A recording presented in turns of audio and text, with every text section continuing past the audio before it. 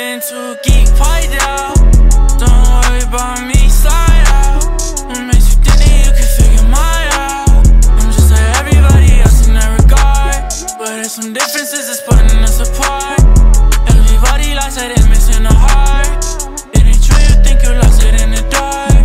Tell me why I don't need take my own advice. Sometimes I feel like a liar in disguise. Am I even good for you? You decide. Am I even good for you?